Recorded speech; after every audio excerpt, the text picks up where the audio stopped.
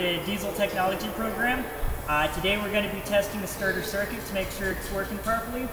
First thing you want to do is test your battery to make sure it has proper voltage. When you're doing this, you want to make sure it has 12.4 to 12.6 volts. So we're going to take our little voltmeter here, and we're going to test positive to negative to make sure we have adequate voltage. So we're going to go negative to positive and we're reading 12.5 volts, so we know our battery's good. The next thing we want to do is make sure our fuse is not blown and it's working properly.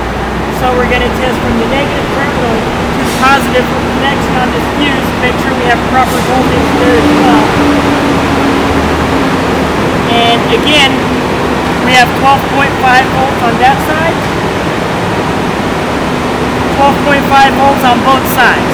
So we know our battery's good, and we know our fuse, is working good as well. And so what's going to happen is when I turn this key, uh, the key is going to send a signal to the relay. The relay is going to tell the solenoid to engage the Bendix drive. The Bendix drive is going to come out, engage with your flywheel, and that's what turns your motor over. And this has been a simple test of the starting circuit system on a vehicle.